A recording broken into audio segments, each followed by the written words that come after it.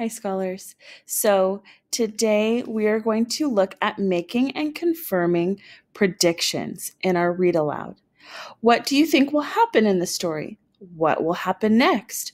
Was my prediction right? So you can see we have a friend here who's reading a book and then she made a prediction and it was correct. So we're going to see if we can make some accurate predictions in our story today. And I think you're going to like this one too.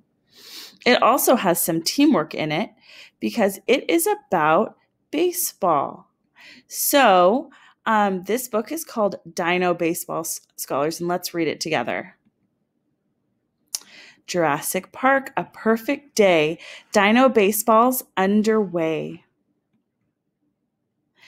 Green Sox host the Ribeye Reds. Some pterosaurs, some quadrupeds, uh, caps with brims shield midday sun, shoes with cleats help dinos run, wooden bats and leather mitts, warm up throws and practice hits, hats on hearts as anthem plays, T Rex cries while Lesso sways.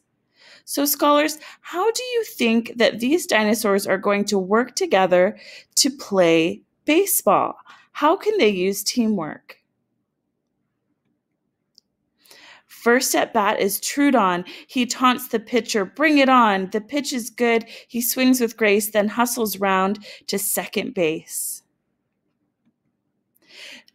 Tricera has an awesome grip, a knuckleball. He lets it rip. Galley swing not up to par. Her hit just doesn't go that far. Now watch that Maiasaura race, tags Galley out two yards from base, a man on third. What happens next? Strike out Raptor, then T Rex. So, scholars, you can see how even in our own story, they were making predictions and then letting us know what happened. What happens next when there's someone on third base? They run home, right? Scholars, they run to home base. And, but in this case, um, Raptor got um, struck out. Four innings of a pitcher's duel. Both teams are running out of fuel. Three up, three down. No one scored. Baseball fans are getting bored. Uh oh, scholars, what do you think is going to happen? Let's make a prediction. If the fans are getting bored with the game, what do you think is going to happen? Well, we have some options. Do you think that they're going to um, leave and not watch anymore? Do you think they're going to get upset? Or do you think the game is going to get more exciting? We'll have to see. Then Stegosaurus for the Sox hustles to the batter's box. T Rex is the go to guy. Wind up, pivot, let it fly. As Wood hits ball, they hear a crack. A mighty swing has split the bat. Stego rumbles down the line. Compy yells, This one is mine. Gloves the ball, throws him out. That's what baseball's all about. But wait, the Green Sox manager's irate, throws his hat and kicks home plate. He calls the ump a nasty name and gets ejected from the game. The Diplodocus gets a hit, and um, Ankylo makes the best of it. Pachy scores a home run play Three RBIs the Green Sox way. Top of the sixth, Sox three, Ribs zero, but Red Team fans are all aglow. Bases loaded, Green Sox fret in the dugout, dugout, ribeyes sweat. So, scholars, I think our prediction that it could have gotten more exciting was true. We predicted and thought, uh oh, the fans are bored.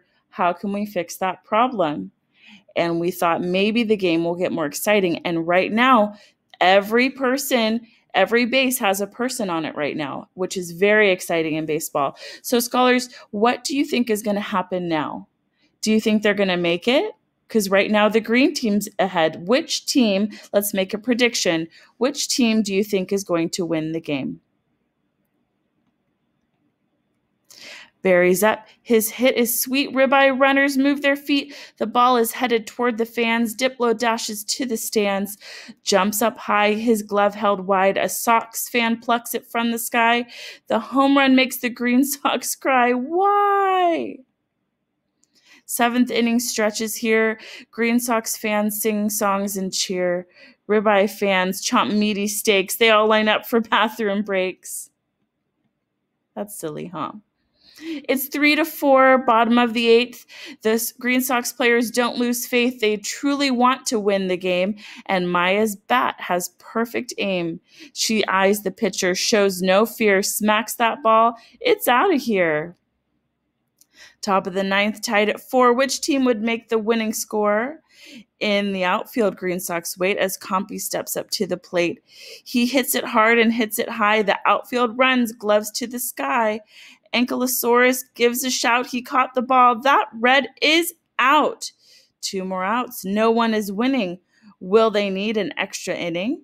An extra inning is if it's a tie, scholars, and they have to keep playing. Green Sox need to change the score. Their only hope, Apatosaur. He's at the plate. He sets his stance. Strike one, strike two, just one more chance. What do you think's going to happen? What's your prediction?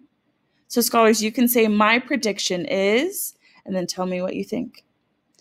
He concentrates, he eyes the wall, a swing, a hit, and goodbye ball.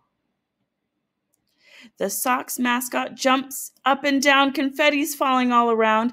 The crowd goes wild up in the stands. The field is mommed by Green Sox fans. They've had their biggest season yet. It's over now, but you can bet. Uh, your tickets at the court for Dino Hoops next season sport. So, scholars, the green team won, the Green Sox. So, if that was your prediction, then you were right. Now, um, I want you, scholars, to think about how in sports we can use teamwork, whether it's baseball, whether you're playing even freeze tag with your friends um, on the playground, whether you're playing a game with your siblings. Scholars, I would like for you to tell us what is one way that you can use teamwork when you're playing a game. Okay, you can even draw a picture if you wanted to and share it on Seesaw. Um, but let's talk about that today. How can you use teamwork when you're playing a game or a sport?